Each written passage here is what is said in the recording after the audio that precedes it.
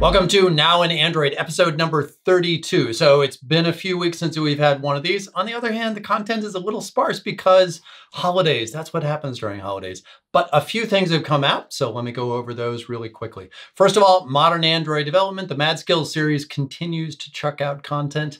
Uh, we took a look at a couple of episodes from the Kotlin and Jetpack APIs uh, series in December, and now we've had a couple more episodes come out since then. First of all, Florina Muntenescu has posted something on Room uh, and using Kotlin with some of the Room APIs. Uh, so this is used for uh, local storage access, uh, basically sitting on top of SQLite. Use the Room APIs and use coroutines, Kotlin coroutines for easier access, especially easier access to doing stuff off thread, which is what you want to do when you uh, access uh, database objects, isn't it? Uh, there's also information about how to test your app, um, which is sort of an important part of software development. So I hear. She also launched an uh, episode on Work Manager, sort of an overview introduction Work Manager, as well as using some of the Kotlin-based APIs for Work Manager. So check that out as well, uh, especially for work that you need to have execute asynchronously, whether that is deferred work or work that you need to happen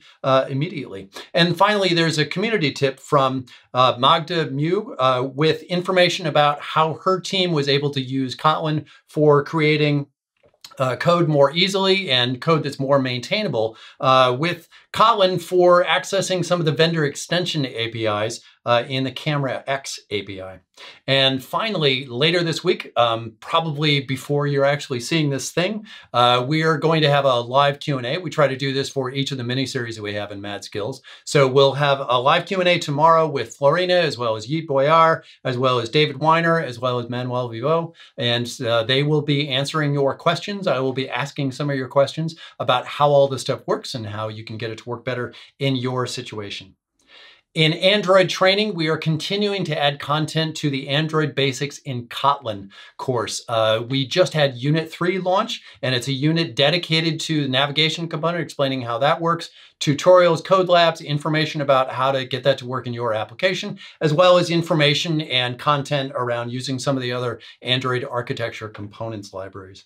We've had a few articles come out. Uh, first one on security. Um, Isai Damier uh, posted an article that goes into really glorious detail on some of the background and security and cryptography. And this sort of provides uh, some context for the explanation of why you actually want to look into biometrics. Maybe you think that cryptography is enough, but there are situations that can come up that um, are pretty compelling to pay attention to, and maybe you actually need your user to use uh, biometrics to log in and have that extra uh, security measure of authentication on top of all the other security stuff that you're doing for your situation.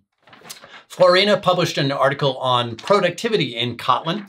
Uh, now, if you're already using Kotlin, you probably already know this. I'll allow you to just skip that article. That is totally fine. But maybe you have been thinking about using Kotlin, but you're looking for compelling reasons, or maybe you're a, a true Kotlin convert and you want to use more of it on your team, but maybe you need to convince others about why this is a good idea. So this article provides some of the concrete data information uh, that may be useful to you or perhaps managers, people making the decisions on uh, what tools to use in your situation. So check that out.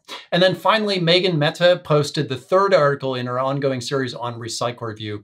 Chances are, if you're using a Recycler View in your application, you probably have I don't know, items in that recycler view. Otherwise, why are you using recycler view? And those items are typically clickable, right? You want the user to be able to tap that item and then something happens. So it is a common use case to be able to handle that click event on those items. And it's not necessarily obvious. So Meghan in her article covers that use case, covers a recommended approach for how to handle those on-click events that come into those items. And then finally, in this short list of things in the Now in Android world, uh, this time around, we had a podcast episode post. We did a podcast. It was just Tor and Romain and I. This is a hostful or maybe a guestless episode. We just wanted to collect ourselves together and have a conversation at the end of the year about some of the stuff that had transpired uh, during the year in this weird year that we had. Uh, some of the changes in you know how we all pivoted in the way that we uh, did our work and the kinds of work that we were doing, as well as developments in Android and the tool space and ongoing and future developments